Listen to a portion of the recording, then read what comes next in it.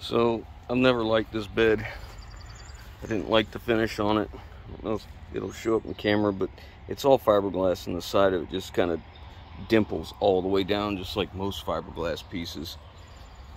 When they build it, look what they do to the fact the factory cross members. They just butchered them off with a torch.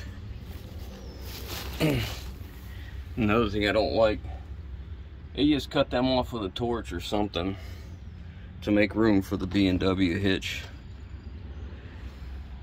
So I don't like aftermarket companies because this is the kind of crap they do. It's awful. There it goes, on its way.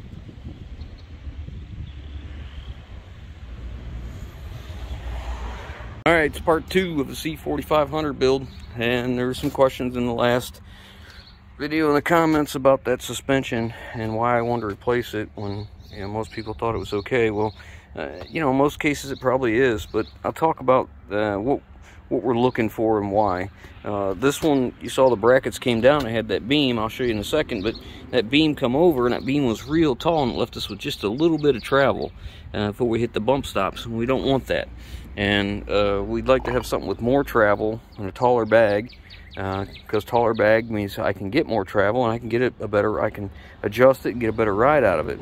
Every single suspension made uh, air ride that I've messed with, uh, they want a setting from the top of uh, the U-bolts usually to the bump stop to be a certain measurement and that's your travel on it. So it's not like I'm making this stuff up. We're going by manufacturer specs, but one of the reasons we didn't care for this suspension is um, the way it's built. Most manufacturers of air ride suspension, uh, this arm right here on everybody else is a leaf spring. It's not solid structural steel with no give. Uh, they they do it with a with a spring steel so that it can tell, help to absorb some of the the shock off the road as well instead of just having this arm. And you see how short this is. You know this thing bottoms out. Get my foot on here. Like I can I can barely compress this thing with my weight. I'm pushing 190 pounds it's a very stiff bag, you know. Um, and I just think it could be improved upon. It's not because it doesn't work. It works okay, but uh, if I'm going to build a truck, I'm to and I'm going to move the axle, well, I'm going to build it with something I think will work better. So let's go look at a couple suspensions. Um, keep in mind this this frame here is only eight and seven eighths tall, uh, and everything we're going to look at is probably going to be uh, 10 and a quarter about. So we got to be mindful of the brackets because we don't want any of our holes to be within two inches of this. Um, this is a GM factory hole, so and the diameter they decided that this was okay, but we don't want any holes within two inches of a top rail in a commercial vehicle. That's especially they did it probably because that diameter, but what we're going to be working with is going to be much larger than this the diameter. So, uh, you know, we'll get dangerously close to the edge and the possibility of the cracking is just too high. You, we don't, and, and you go by manufacturer specs. And uh, on Peterbilt, from the top flange to the center of that hole, I don't think they want uh, anything less than two inches and same on the bottom on Peterbilt and Kenworth. So let's go look at a couple suspensions I'm thinking about. We also need to be mindful of this width of our spring is three inches and our axle tube is four and a quarter. So if we can find something that has a three inch wide spring on a four and a quarter, that makes the installation a little bit easier. And then we have to be mindful of this, that we only have about an inch and three eighths from the bolt, bolt to here. So uh, we gotta make sure we don't have anything on the back side in that area but it looks like it's pretty close. So getting that caliper out shouldn't be a problem with the airbag coming out in this area. Let's go look. All right, so this is the first suspension that I was considering. This is an international uh, leaf air ride suspension, and as you can see, the the frame on this one is 10, let's call it 10 and a quarter, and you see how much taller this bracket is. Uh, we won't be able to use that bracket on our frame and and be far enough away from where I want to be.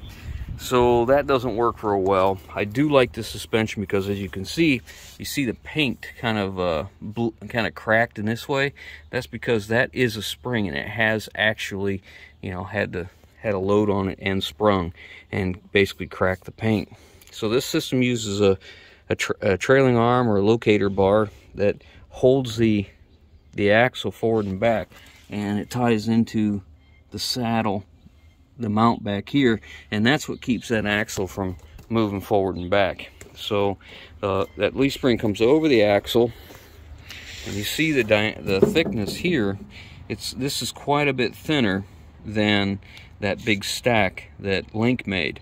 So that right there already increases our rate of our amount of travel not our rate but our amount so that's that's beneficial. We're only like an inch and a quarter thick right here. And the bump stop we're not quite touching. And like I said, every every suspension manufacturer has a spec of what the distance should be from here to the bottom of their bump stop. And that's their that's their working travel.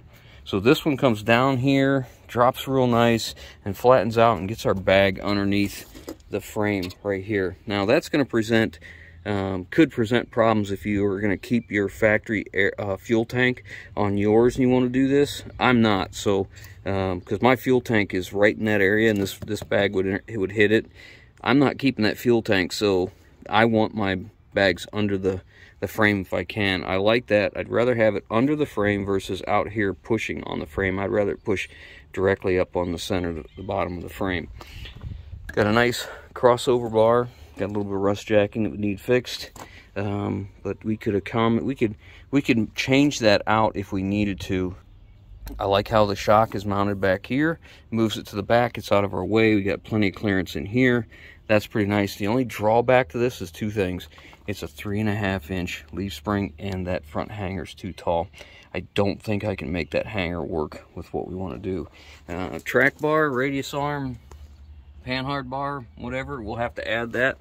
So uh, parts of this look good, um, but I don't think this is the best we can do. So let's see what else we got. This is a, uh, a Link air ride suspension system. This was on an International. You could just, you know, unbolt it and bolt this in place. And it's got little bitty airbags in here.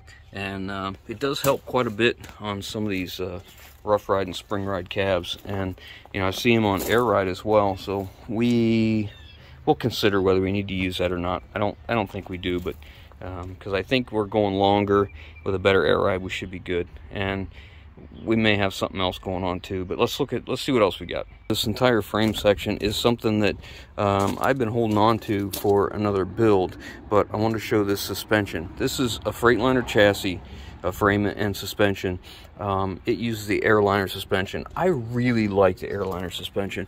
I've used it a good bit and a lot of the things I like about it is you see how low this bracket is. It still has six bolts on it but they it sticks down here a good ways, which really works well on our factory frame. Another thing is it's a three inch spring and it goes under the axle. So with that spring going under the axle, it really clears up a lot of room up here. Uh, one drawback is the shocks in this area. I don't know if that really hurts us at all um, because we can uh, we can deal with that. I think it's okay. And the bottom spring curves under instead of having that crossbar, it just curves under. Get your bag underneath the, the airbags underneath the frame where I like it. Brackets are simple, not a big deal. Uh, panhard bar, whatever we do, we got to make one and make the brackets and all that. It's not a big deal. But uh, travel would be good. Uh, they're they're simple, not very many moving parts, not a lot to replace, and what does need replaced is not expensive on these. Um, that's one thing I like. Common problem I see with these is steel bolt, aluminum bracket, uh, corrodes in here and you get easy in this area, it'll crack and through one of these in the hanger, but you know, they're replaceable. And then I see these bushings going bad in that leaf spring. And when it does, it uh, it starts to let it work like this. And when it does, it starts working on the on the uh, cast here on the block between the spring and the axle tube. I'm not exactly sure how this happens, but it starts to wear that and they become loose and it allows this thing to twist. Um, and it happens on both sides, usually at the same time is what I found. but it's a good system. It's a good uh, a good setup. I really like it because it allows you to really have a nice travel and keeps that keeps that uh, leaf spring at a, at a nice rate so it's comfortable to drive uh, very good ride so uh, that may be an option but uh, let's see what else we got. So this is uh, another international as you can see. This one's a cast iron bracket. Goes steel to steel. And again three and three bolts each side so six. And it's load to the load of the frame. So that works out well. Drops it down real good. Uh, kind of almost the same design as the airliner. And it's a three inch spring as well. Goes under the axle a little bit different here is the top centering pin. The the mount here the bump stop mount is well i guess it's the u-bolt mount. It's slotted so you can you know use it on many different axles. And then it drops down and the shock is same location and the spring turns like this and it comes underneath the frame. This one is a pretty tall bag. These are deflated and we're sitting on our bump stop right now and because the air is completely out of them but you can see the difference in the height of the two of all three so far being bottomed out. Um, I really like this suspension. Yeah, hard bar nothing nothing we can't handle. Uh, ride height valves on all of them and we'll put pilot controlled ride height valve with a dump feature so we can dump it and get underneath trailers. But uh, let's go look over the other property. I got a couple more. I think I find I th I'm thinking of one in particular I think it's gonna work real well. All right this is an old U-Haul truck I got. It's an 88 uh, GVW is like 18,000 pounds. U-Haul derated these things so that you could still you know rent it to a bunch of people and not need a CDL it is a lower GVW and the way to tell on an international is the frame comes back and typically you see this step up right here and that's a pretty good indication it's a lower GVW. I've seen these, uh, actually my blue rollback has that. It's, I believe it's 25999 but still. Um, this is another suspension I was considering. This is the same as that very first one I showed you, only this bracket is quite a bit smaller because uh, this frame isn't as tall. So it is a lighter GVW. Lighter, uh, lighter weight rear axle. This one's only, the bracket itself is eight inches total. And it's two inches from the top and two inches from the bottom on those bolt holes. So um, this one works the same, got the same setup. Is it windy. Leaf spring comes over the top. Again, same problem, three and a half inch spring. It's a nice setup because it's compact. And if you see what they did here, they came down like this and you can see the caliper interference that you have here. I mean, this moves with the caliper, so that's not an issue. But uh, it just goes to show you the what I was talking about with interference. So it drops down here, and then the airbag is here. But you see how the airbag is different. It's it's shoved under the um, under the frame even farther, and that's achieved by that cross member. So you can see over there, the bag is sitting on this cross member and the frame. So it moves it in quite a bit. And then they also got the uh, shocked moved way back here too. Um, one thing to note about this is you'll see that they have this perch that this is set on, but um, there are other there are other versions of this that are not U-Haul that uh, this sits down lower. Now, this probably wasn't done correctly because this axle's been moved forward. When it was back here, the front leaf spring hanger, here's the back bolts of that, and here is the, uh, what is this? That's the bump stop. Yeah, bump stop, track bar, and then here's your airbag mount. So as you see, this shortens up probably at least two inches. So being though that was pushed down farther, when that was aired up, the pinion angle on this probably wouldn't be right. I doubt they adjusted for it. So that would have need that bar uh, changed, adapted, and accommodate for this to get the right ride height. But I don't think that's going to work. But uh, we'll use that on something else, I'm sure. Just not on what we have. I mean, I know somebody's going to ask about why don't you just use this axle. It's probably the right, let's see, it is four and a quarter. The problem is this is a V8 uh, six or seven three IDI motor, not uh, non-turbo, naturally aspirated. So this thing has to turn really high RPMs because you know, it's like 170 horse or something like that. It's not very much, 160, 170. And if you don't have high RPMs and you're pulling, as soon as you drop out of them RPMs, you lose your power. And that's, wasn't uncommon for these to be 5, 13s and above rear end. So this isn't going to work for us. Um, not the rear end or the suspension, but you know, I'll keep it in mind for something else we got going on. Another build we've been thinking about, but let's go look at something else. So this is another truck frame that I have. Uh, I bought this from a guy and he was parting the truck out and he cut the front off of it because that's what he needed. He needed the motor and transmission and all that. This is off an International. This is a 4300 chassis and uh, it's in good shape. I come here to look at the suspension. Again, another International air ride with the, the leaf, leaf spring under, but you know what's really nice about this one, it's unique, is you see this bracket at the bottom, it moves the shock to the inside of the frame rail.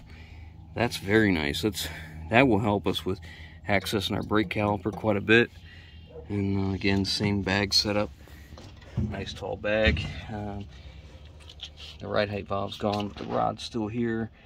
We, you know, make that a dump situation there. Pilot controlled dump. I don't know what the ratio was of this rear end. I mean, I'm only concerned because what's going through my mind right now. I was able to put a little grease on it and it looks like it's a 488 gear. So 488 isn't ideal, but you also have 22.5 tires, so that's helpful. If they don't have a tag on there, my experience has been you can always go to the end of the pinion. And there's usually the number of teeth that are on the pinion, the number of teeth that are on the uh, ring gear stamped in there. So you can usually divide the two and come up with what the ratio is. Yeah, this is a really good option here.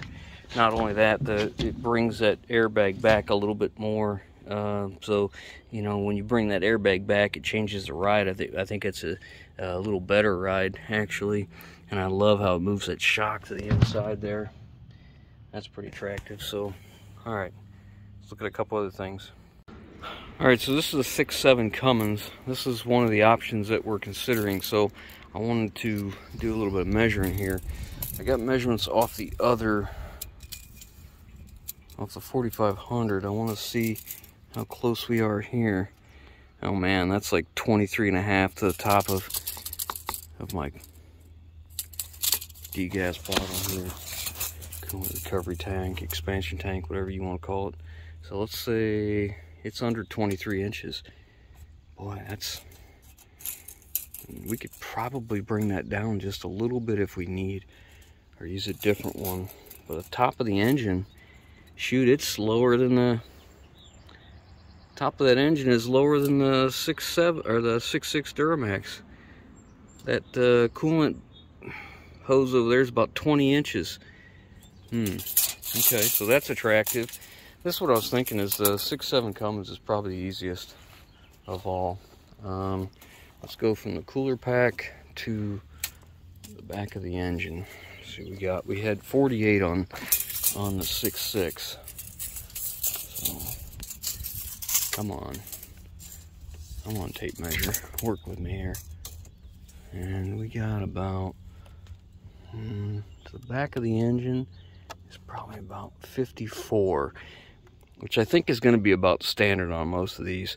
Now this this six seven, I believe is a 240 horse, if I remember right. And uh, of course it's paired to a manual transmission, so um, that already gives us our flywheel, which this will be a uh, this will be a 14 inch clutch. Measure cross bolt to bolt, that'll give us our SAE. So we'll know what this is probably a two center bolt center bolt. Let's go. It's about four and just about four and three quarters. So, I mean, you can, there's several ways you can measure it, like the inside diameter, the outside diameter, that kind of stuff, but as long as I got something to go with.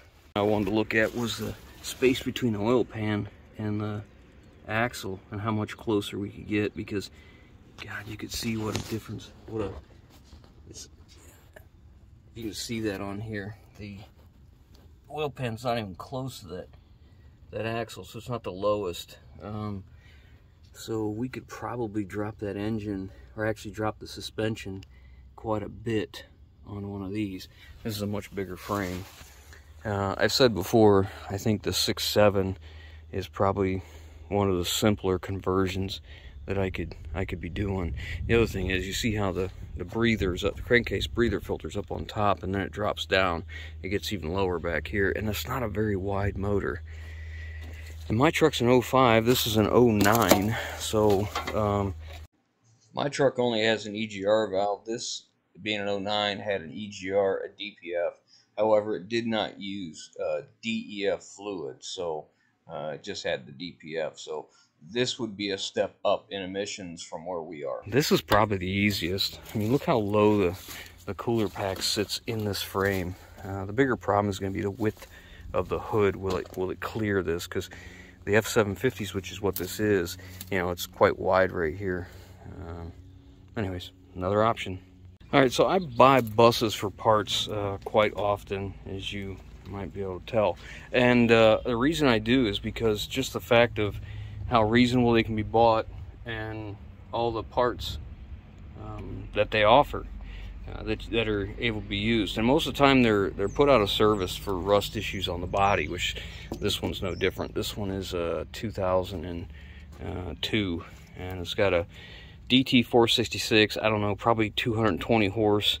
Um, I don't know if this will be the high torque version or low torque. I wouldn't know till I run the VIN number.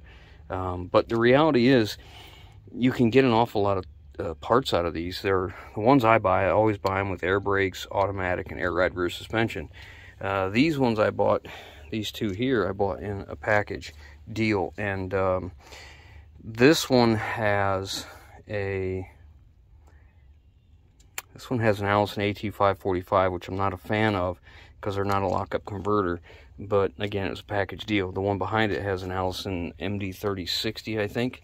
So we're going to take some measurements and see what the height is from the top of the frame to the top of the engine and see where we're at here.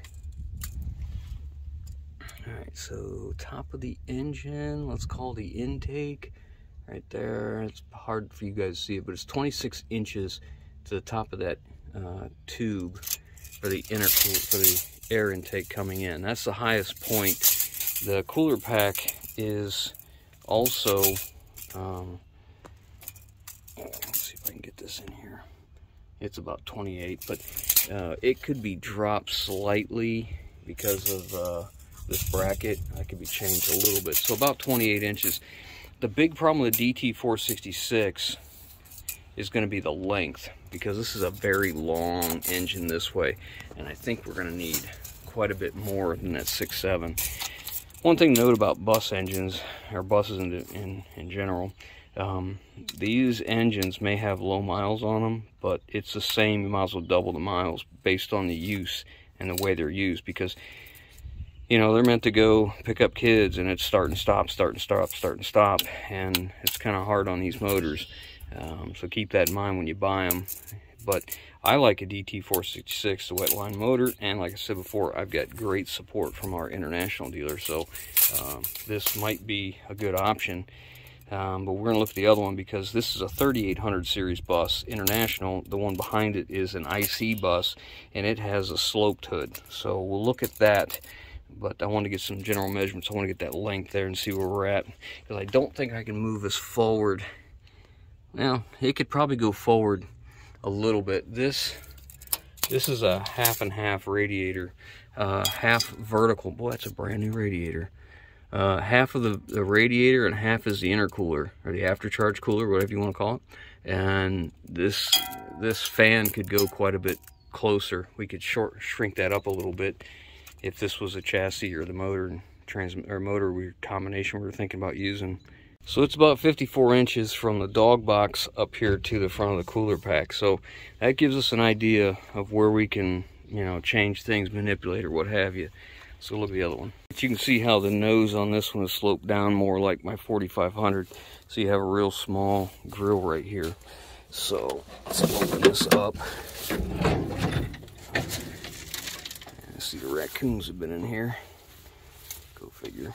Okay, So right off the bat, I can see that it looks like uh, the cooler pack is set quite a bit lower. I don't think the engine is. I think the engine's okay. I don't remember what year this one was. Um, this is an 03 version. So still before the 2004. Um, both of these have right at 100,000 miles on them. So let's see what we got here. So from top of the frame, still about 26 inches there. Let's look over here at the cooler pack.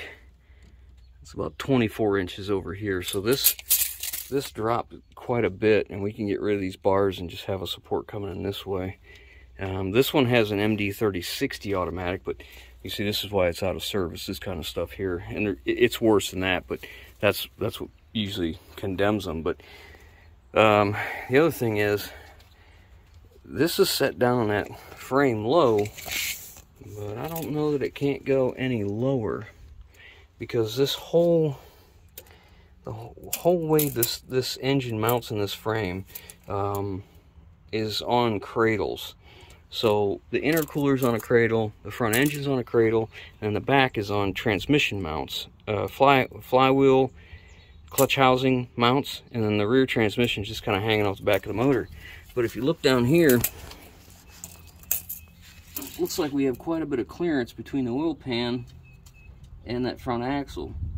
And this is a nice drop axle to begin with. This was kind of a low chassis bus anyhow, so we might be able to drop that oil pan or drop the motor down a little bit more uh, maybe put a skid plate on it just to protect it but um, we can get it down lower and that would take care of a lot of clearance problems because the lower we go back here uh, then the less I have to open this up or the less width that I need to get the motor under under my cab so if we can go lower that'd be better I mean it may only be you know two three four inches but man that'll be huge um, but I guess uh, what I'm telling you is I keep thinking that, you know, it's time to just yank that cab and just set it on, a, on another chassis.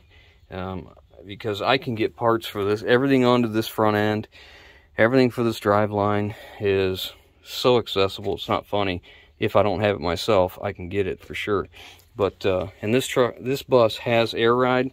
It's not an air ride we'd probably end up using, but uh, it has it.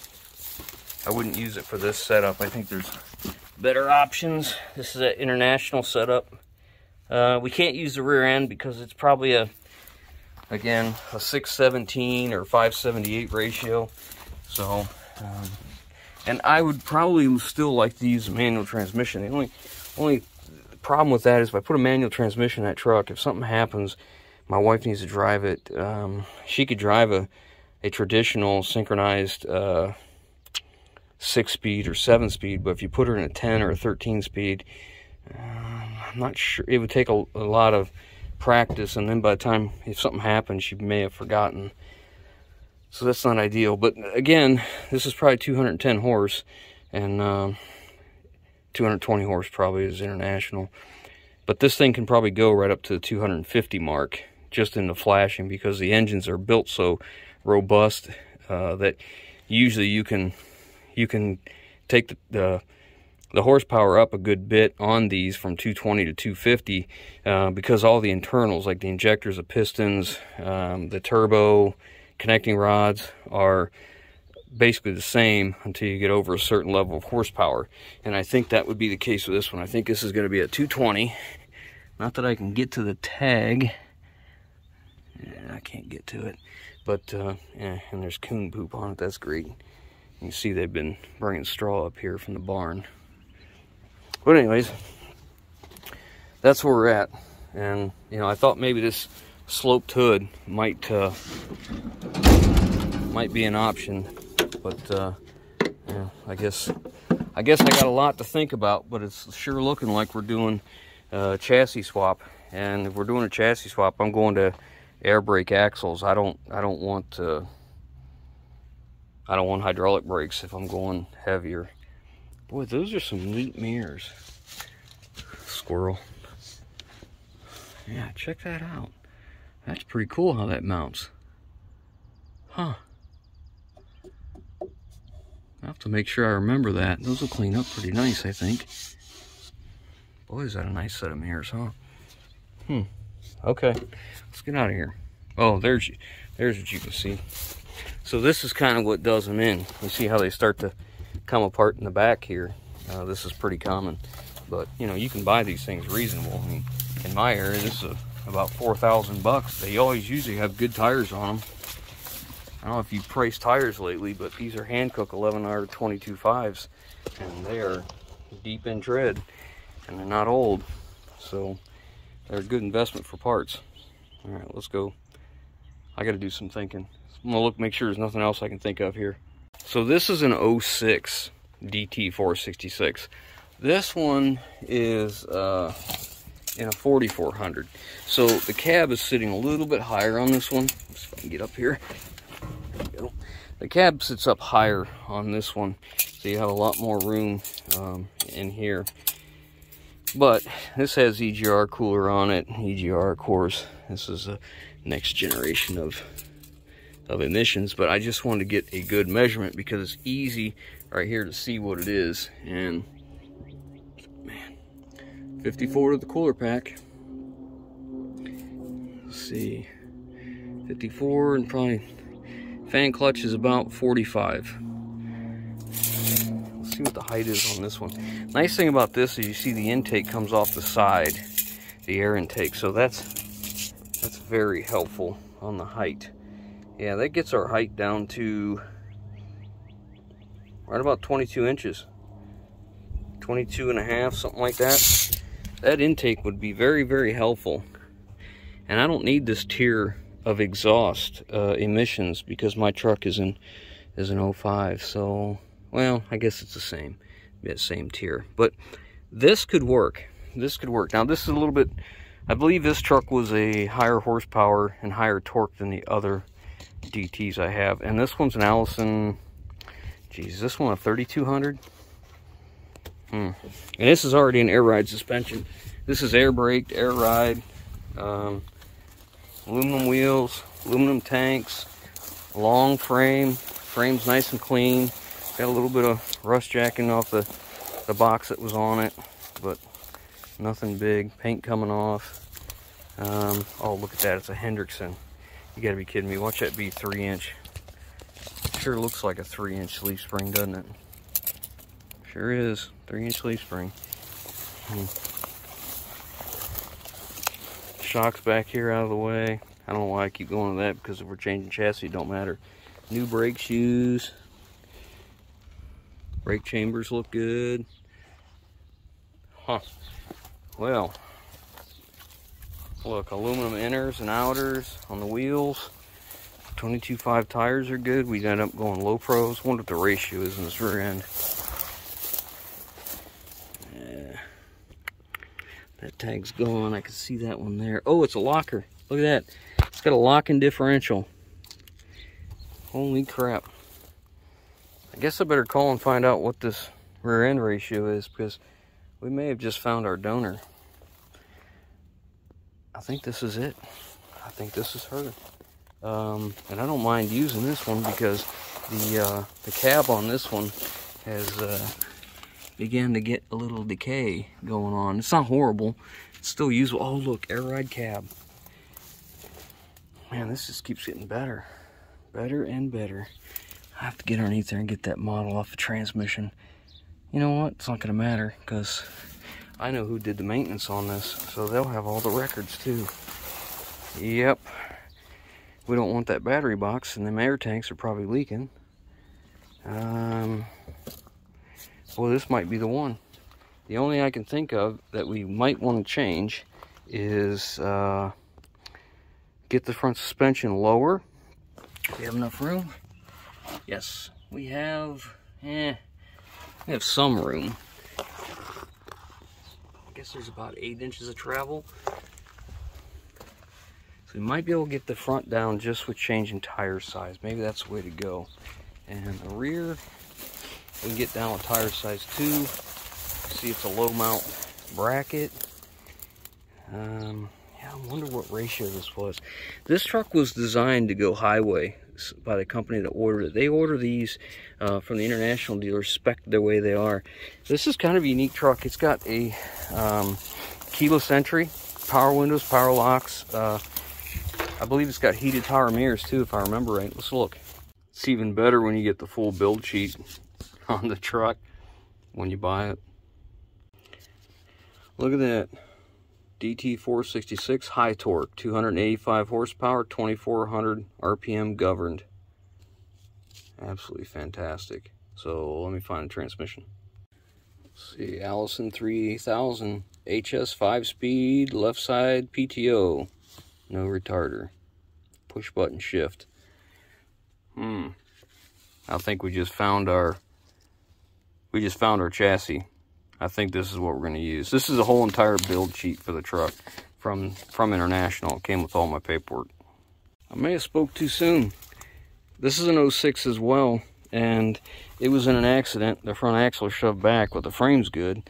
Um, I don't know the horsepower on this one yet, but it's a it's an Allison automatic as well. I don't have a build sheet on it, so I'm going to take the VIN number. I'm going to call AMI and see see what horsepower it is and see what transmission it is and see what rear end we got.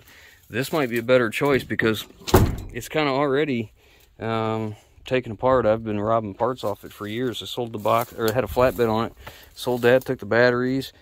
Um, good bit of stuff. All right, so the end of that video got cut off. I ran out of memory on the on the camera. Um, but that truck I was looking at has that DT466. It's a 220 horse with an Allison 2200 in it, so that it might be an option. Um, the 6.7 I think is the nicest conversion end product because I have to also realize that when I'm done with this, um, I may end up selling it still. You just never know. And it may be more. I know it'd be more attractive to me with a 6.7 than it would be a DT466. A DT466 is my preference, but uh, and I still want to build a sellable truck as well. And that leads me to a couple other things. Um, some guys in the comments, I'm going to have to readdress this because apparently they were in the back of the classroom eating crayons and uh, licking, licking the glue. Uh, but uh, they said that, you know, if you didn't like the truck, why'd you buy it? Well, I'm going to tell you, the whole point of this was I made it clear, I thought I made it clear in that video. Um, I like the cabs of these trucks. I like the brakes on these trucks, all right? Ford and Dodge, neither one of them uh, built a medium duty cab this spacious. Um, you know, Freightliner makes one in the medium duty line.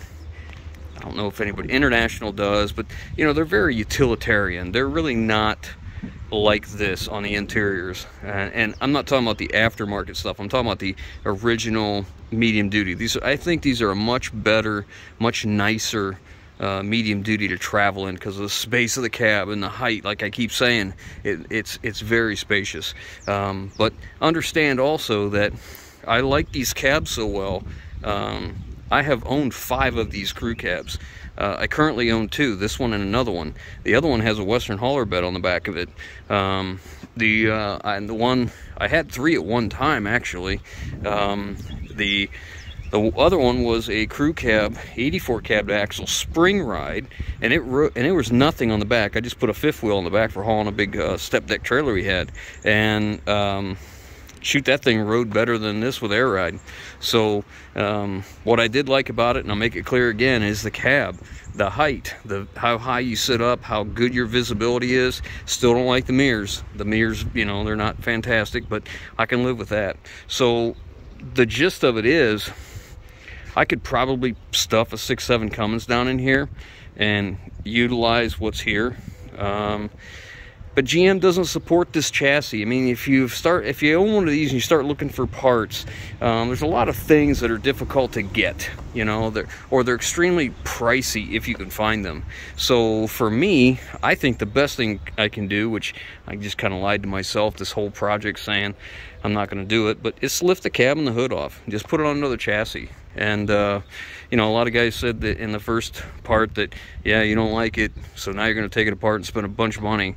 Well, actually, I'm not. I mean, you'd have to you'd have to understand if those people probably don't watch the channel often. I'm very cost conscious in in projects. So the reality is I bought this truck for and I paid I paid a real amount of money for this truck when I bought it. It was no deal.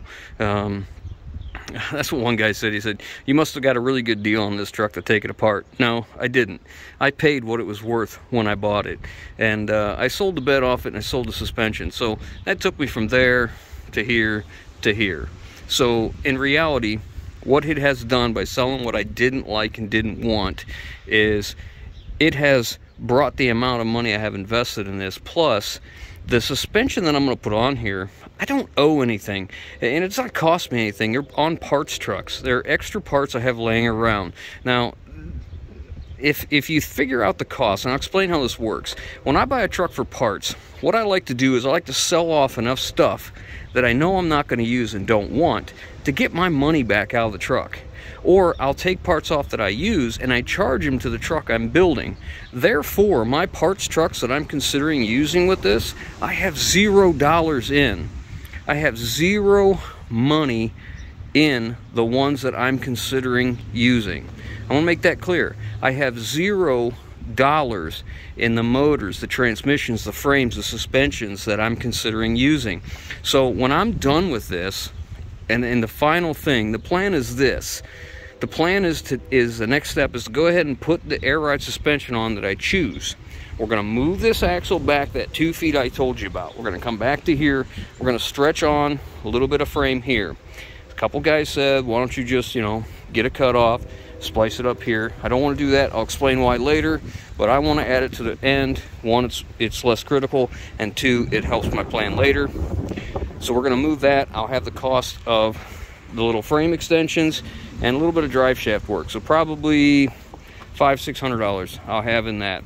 Um, and then we're going to put the bed on. Now you have to understand that when I bought this truck, I never liked that dually bed and I never liked that suspension. So from day one, I had been looking for something else to put on the back. And when I came across the one that I found that was specifically for this generation of truck that came off one of these trucks and I could buy it reasonable, I flew out and I got it and it's been here for about a year now. So I have that. The fuel tanks we're going to use, I have zero dollars in. Um, that I'll have money, like I said, in them frame extensions and the drive shaft.